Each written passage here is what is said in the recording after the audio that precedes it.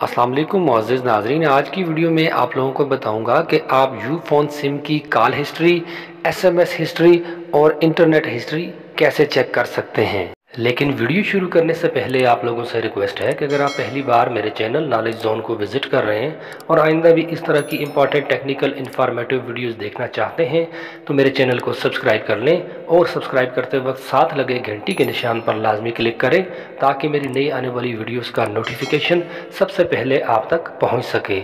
Moz नाजरीन, सबसे पहले आपने अपने मोबाइल पर यू फ़ोन की एप्लीकेशन इंस्टॉल कर लेनी है। एप्लीकेशन इंस्टॉल करने के बाद ओपन करें। ओपन करने के बाद आपको स्क्रीन पर मुख्तलिफ़ ऑप्शन नज़र आएँगे, जिनमें नीचे एक ऑप्शन होगा यूजेज का, जिसको मैंने ग्रीन हाईलाइटर से हाईलाइट किया हुआ है। यूजेज के ऑप्शन पर आपने टैप कर देना है। टैप करने के बाद आपसे पूछा जाएगा कि आप कितने दिनों की कॉल हिस्ट्री एसएमएस हिस्ट्री या इंटरनेट हिस्ट्री जानना चाहते हैं। तो यहाँ आपको सात दिन, यानी कि पिछले गुजरे हुए सात दिन की हिस्ट्री ढूँढने का ऑप्शन अवेलेबल है।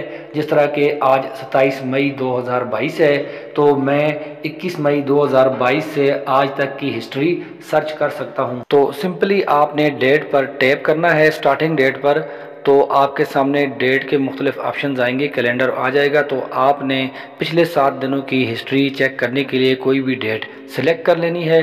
सिलेक्ट करने के बाद आपने नीचे एक ऑप्शन पर टैप करना है, जहाँ लिखा हुआ है सर्च जिस तरह के मैंने रेड हाइलाइटर से हाईलाइट किया हुआ है तो आपने सर्च के ऑप्शन पर टैप कर देना है। जैसे ही सर्च के ऑप्शन पर टैप करेंगे तो आपके सामने आपकी सिम की कॉल हिस्ट्री या एसएमएस हिस्ट्री या इंटरनेट हिस्ट्री आपके सामने आ जाएगी। तो इस तरीके को फॉलो करते हुए आप यू फ़ोन की एसएमएस हिस्ट्री कॉल हिस्ट्री वगैरह चेक कर सकते हैं। यहाँ एक चीज़ का ख्याल रखें कि आपने जिस सिम की कॉल या एसएमएस हिस्ट्री चेक करनी है, आपने उसी सिम से अपने मोबाइल पर इस एप्लीकेशन में लॉगिन होना है।